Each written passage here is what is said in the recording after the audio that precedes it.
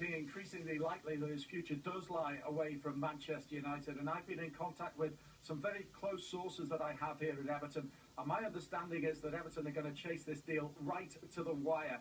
Now, let me give you a little bit of background on the Tom Cleverley situation. Let's remember that, of course, he played under Roberto Martinez at Wigan. And at the time, he was very much